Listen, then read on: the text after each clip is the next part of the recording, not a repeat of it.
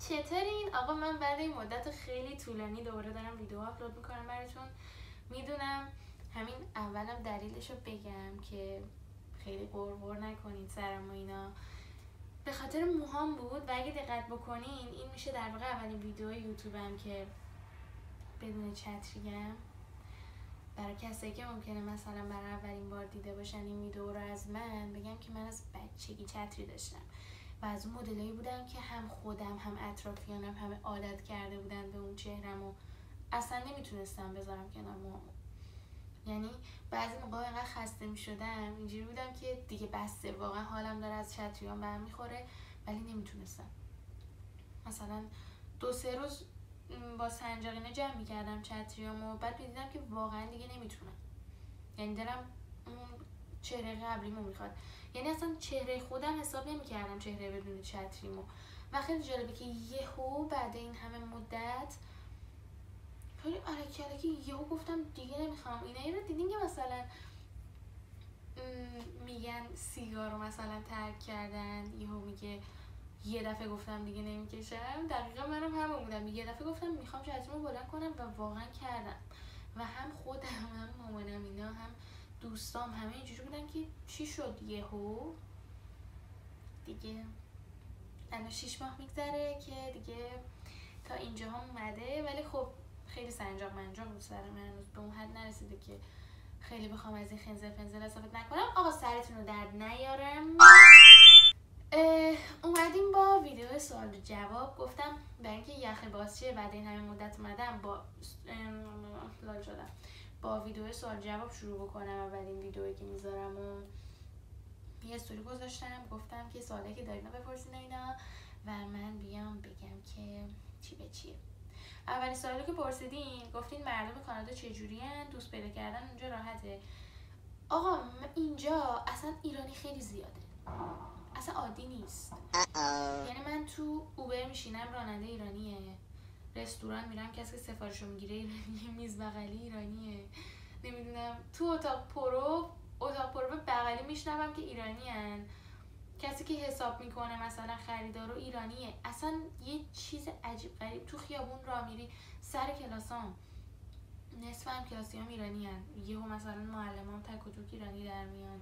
و انگار ایرانه ولی به یه شکل دیگه با یه جمعیت زیادی از مردم با ملیت های دیگه و یه زبون دیگه.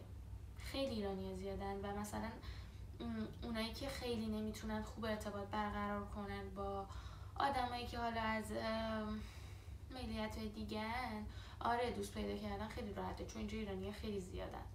ولی همه میگن بهتره که مثلا خیلی سعی کنی که از محیط ایرانی بیای بیرون به خاطر اینکه نمی‌دونم یه جوریه. نمی... من هنوزم خودم نفهمیدم چرا همه اینو میگن. خودم هنوز نپیوستم به اونا که بگم وای از ایرانیا دوری کنین توی کانادا و اینا. ولی منم شنیدم همه میگن خیلی مثلا سعی کنین که با بقیه آدما با بقیه ملیت بیشتر ارتباط داشته باشین تا ایرانیه موعظه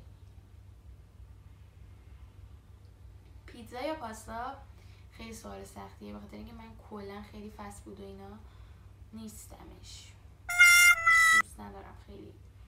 من غذای مورد علاقه نیست. اینجوری نیست که اگه خیلی گشتم بشه میگم وای دلم پیتزا می‌خواد یا دارم پاستا می‌خواد. اما از بین پیتزا و پاستا وای خیلی سخته. پیتزا. آره پیتزا. هم تا حالا عاشق شدی؟ تو ایران یا کانادا؟ تعریفت از عشق چیه؟ سه تا سوال پشت سرم تا حالا کسی رو دوست داشتم خب قطعا. ولی اینقدر تعریف عشق توی ذهن من همیشه یه چیز خیلی قشنگ و خاص بوده که نه هنوز اون چیزی رو من تجربه نکردم که بخوام اسم عشق رو روش بذارم. اونقدر هیچ وقت چیز گنده نبوده. یه دوست داشتن سطحی. تو ایران یا کانادا؟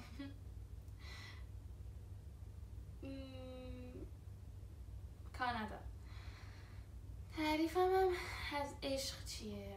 تعریف من از عشق اینه که تو یه نفر رو خیلی دوست داشته باشی همین جوره توی هر شرایطی. اولش آرامش داشته باشه یعنی وقتی مثلا دستش رو می‌گیری یا وقتی بغلش می‌کنی همه ناراحتیات و اینا از تو ذهنت پاک شه. و همه جوری خوشحالی طرف رو بخوای حتی اگه قرار باشه خودت کنارش نباشی. مهم اینه که اون خوشحال باشه. می‌دونی؟ یکم دارک شد تعریف ولی به نظرم همینه. خیلی آی نمی‌دونم. برش کن. ولی به نظر من همه تجربهش نمی‌کنه. می‌دونی؟ یعنی دو نفر ممکنه همو دوست داشته باشن. 20 سالم است که با هم همش و اینا. ولی اون دوست داشتن صرفا دلیل نیست که عشق باشه. می‌دونی یه چیز خاصه به نظر من. فرق داره. این که می‌خوای بازیگر بشی چه استعدادی؟ چه چیزی به جز علاقه بهت فهموند که می‌تونی بازیگر بشی؟ نمی‌دونم شاید اینکه پرروم و می‌تونم جلوی دوربین راحت باشم. یعنی اصلا من هیچ وقت جلوی دوربین قرار گرفتن اصلا هیچ چیزی هیچ وقت نبود راجبش تو ذهنم مشکلی یا ای همیشه مثلا شاید به اون چیزی که باید حفظ می‌کردم می‌گفتم یکم درگیر بودم یا اینکه مثلا چجوری با میمیک صورتم بازی بکنم بعضی موقع ها هیچ وقت با دوربینه مشکل نداشتم. در صورتی که مثلا خیلی از اطرافیانم رو می‌دیدم خیلی ترس از دوربین داشتن و این حرفا. مثلا طرف عاشق بازیگری بود. ولی وقتی میومد جلوی دوربین حالش اصلا بد می‌شد.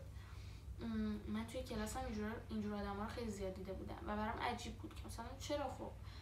مگه دوست نداری تو؟ مگه عشقت این کار نیست؟ چرا اینجور باید بشی و اینا؟ به نظرم این خودش یه چیزی بود که بود که وقتی مهاجرت کردی چجوری عادت کردی به زندگی جدید و در مورد اینکه کشور خوبی برای زندگی و تحصیل هست بگو. من اینجا رو خیلی دوست دارم.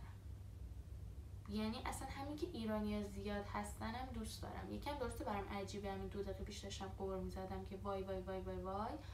ولی من همینش رو دوست دارم و من اوایل مهاجرتمون خیلی خوب بستن خوردم. یعنی اصلا حالا واقعا بد بود. یعنی یه ماه دو ماه اول لج کرده بودم. ما هشت ساعت و نیم اختلاف داریم اختلاف ساعتی داریم با ایران. بعد من اینجوری بودم که چهار صبح خواب بیدار می شدم شیش غروب می خوابیدم که تایم مثلا ساعت زندگی با ساعت ایران هماهنگ باشه. می‌گفتم من ساعتم با ایرانه. من با اینجا نیستم. اصلا قاطی کرده بودم. بچه بازی زیاد. می‌رفتم پارک روزا گریه می‌کردم علکی. ولی بعد یه مدت اینجوری بودم که چقدر تو خری با خودم.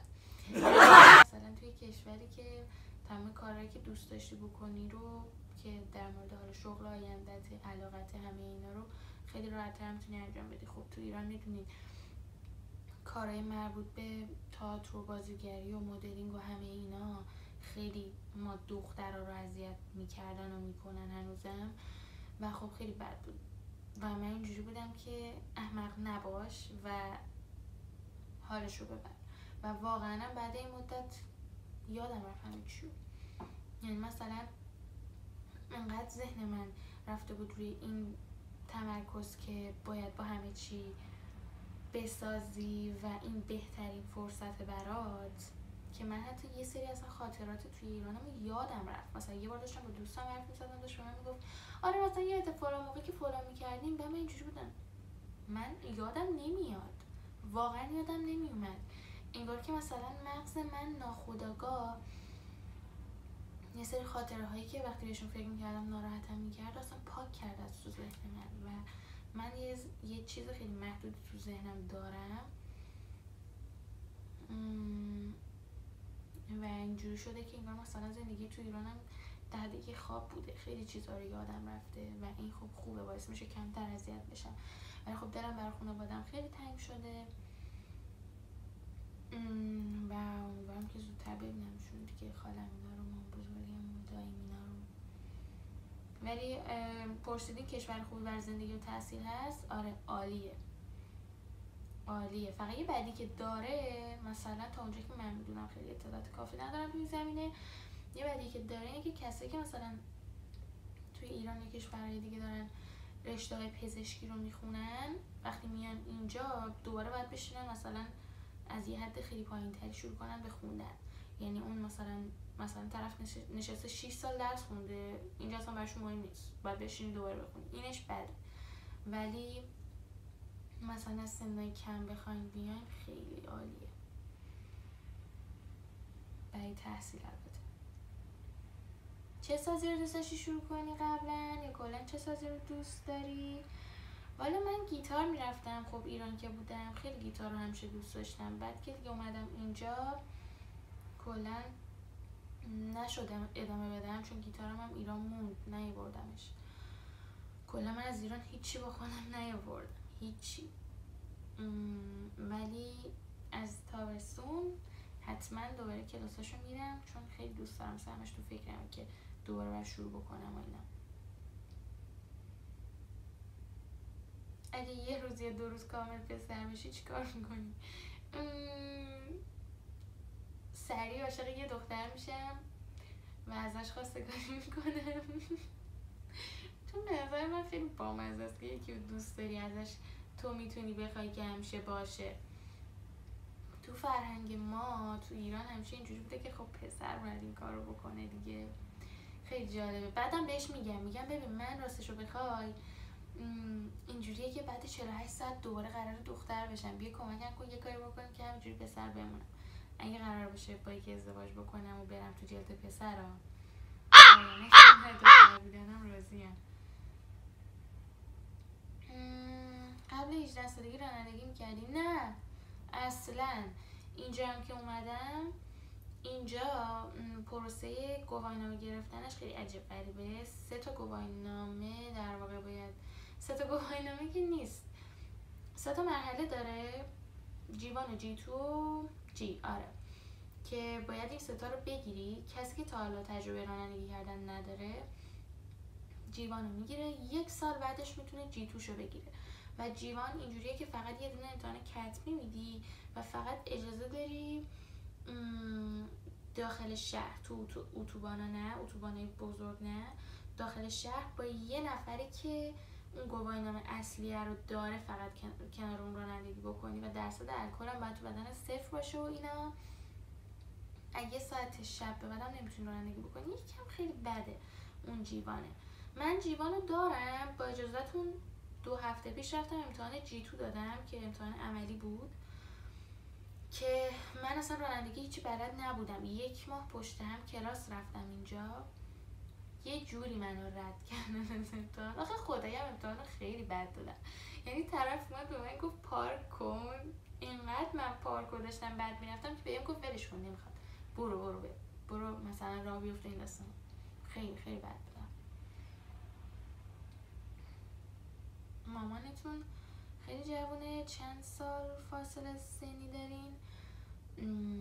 دوستم بهم تکست داد. اصلا حواسم رو پرت شد. من خیلی تک بودیم. وقتی مثلا دارم یکی حرف می‌زنم یا مثلا دارم یه کاری می‌کنم ذهنم نمی‌تونه مثلا جاهای دیگرم حواسش باشه. حواسش رو باشه که یعنی حواسش باشه. من با مامانم 18 سال. آره 18 سال.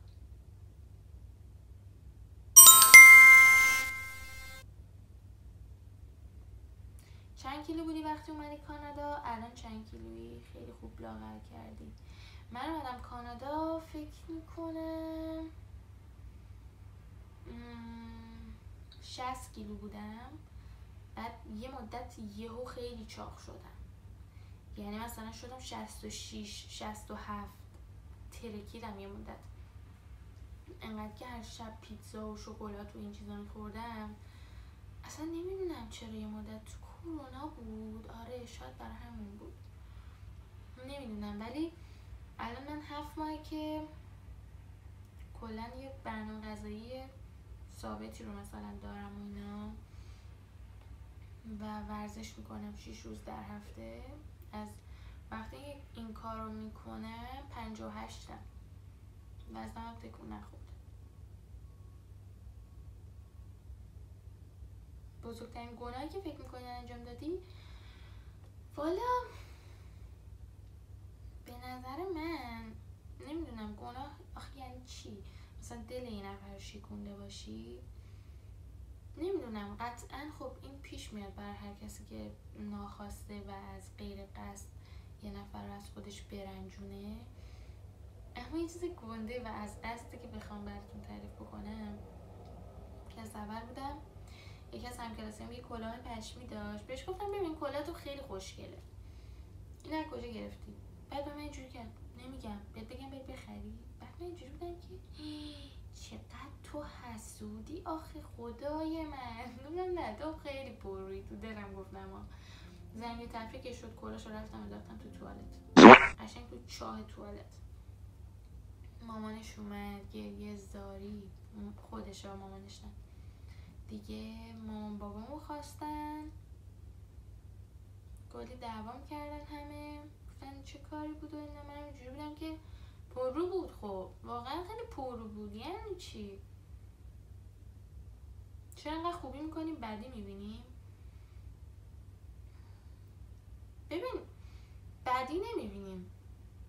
نه تو خوبی می‌کنی. یکی دو بار اولش خوبیه. اسمش بار سوم چهارم میشه وظیفت. یعنی اون طرف دیگه فکر نمی‌کنه که دست مثلا فلانی درد نکنه. اینقدر داره هر دفعه به من خوبی می‌کنه. بار اول دوم میگه ادمش گرم داره مثلا خوبی می‌کنه هوامو داره نمی‌دونم فلان. بار چهارم پنجم چون یواش یواش عادت می‌کنه. اینجوریه که فکر می‌کنه تو باید بکنی و اگه نکنی ناراحت میشه. می‌دونی؟ بستگی داره که تو ببینی داری چه کاری رو برای کی توی چه موقعیتی انجام میدی و یه اندازه ای داره؟ نباید ده بار پشت همون خوبی رو بکنی دلیلی نداره اصلا. می‌دونی؟ مگر اینکه پدر یا مادرتون باشن. غیر اون بیش از حد خوبی کردن به کسی اصلا نظر من لزومی نداره. توی یه جایگاه عادی. بدی نکنین خوبی بیش از حد هم نکنین واقعا. اگه می‌تونستم هر چیزی که بخوام بهت هدیه بدم قدرت دیدن خودتو از چشمای بقیه دیگه می‌دادم. آه. چه چیز بامزه ای گفته. واقعا خیلی جالبه. که مثلا ببینی از نگاه بقیه چه شکلی و اینا. جالب بود. قربونت برم اگه یه روز عاشق یه فرد که ایرانی نباشه کلا نژادتون نباشه چیکار می‌کنی؟ آقا من اصلا نمی‌تونم. با این خارجی ها چه برای دوست چه بیشتر دوست. اصلا نمی‌تونم ارتباط برقرار کنم. می‌دونیم یعنی که فقط در حد سلام علیک چطوری آخر فلان چقدر لباست قشنگه در همین حد. بیشتر از این احساس می‌کنم یکم خوشگن ولی نوشته اگه عاشق یه فردی بشی دیگه عاشق شدم دیگه چیکار کنم؟ همه چیز. فدای دل. گل مورد علاقت من گل کلا خیلی دوست دارم ولی به نظر من خوشگل ترین گل گل روزه هر روزی سفید قرمز صورتی یعنی قرمزش بیشتر. از چی توی گذشته پشیمونی؟ هیچ هیچی. چون ببین یه چیزی که مال قبله دیگه. الان پشیمونی من هیچ چیزی نداره. من الان بگم مثلا از فلان چی پشیمونم. کاش نمی‌کردم. خب که چی؟ بعدش چی میشه؟ نه پشیمون نیست. از هیچی قصد تتو زدن داری؟ ایده میدی بهمون؟ وای آقا من یک ساله می‌خوام تتو بزنم. ولی نمی‌دونم باید چیکار بکنم. چون تا حالا نزدم. هی گیجم هی اینجوری هم که کجای بدنم بزنم؟ چی بزنم؟ چون همیشه هم خودم اون آدمی هم که واقعا اعتقاد دارم تتو وقتی می‌خوای بزنی باید یه چیزی باشه که بعدی معنی داشته باشه تا هیچ ازش خسته نشی. و اصلا دوست ندارم. دیدین یه سریا میگین جایی بدنت بزن که خودت نبینی. من دوست دارم ببینم. من می‌خوام تتو رو بزنم خودم باش عشق کنم. نه اینکه بقیه ببینم بگن وای چه خوشگله یا طرف تو دلش بگه اه این چیه زده. من اگه بزنم یه جایی می‌زنم که ببینم حال کنم با تتو می‌تونی بر خودم می‌خوام بکنم این کار رو ولی اینکه چی بزنم رو نمی‌دونم. همیشه خیلی دوست داشتم یه چیزی بزنم که معنی ایران رو بده برام. ولی من به نتیجه این نرسیدم. چجوری اینقدر سری چتریات بلند شدن بابا کجا بلند شده سری تا اینجا به شیش ماه خودم کشتم با این سنج آقا. جلو سرم داره کچل میشه اینقدر مامو سفت بالا بستم. حس می‌کنم توتی های سابق نیستی. چرا؟ چرا؟ چجوری موهاتو سنجاق می‌زنی؟ قطاری موهامو میبندم. اول بالا بعد ژل می‌زنم. چون فر موهام دیگه پرز مرزی اینا زیاد داره.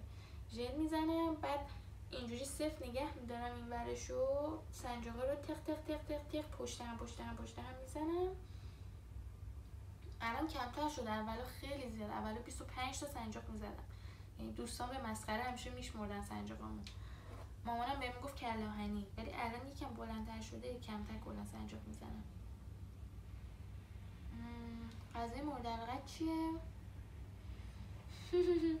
غذای مورد علاقه من همه چی خیلی دوست دارم. خیلی خوش خوش غذام قدیم غذای دریایی و سوشی دوست نداشتم که الان اونا رو می‌خورم. خیاشو رو دوغ دوست ندارم. همین دوتا.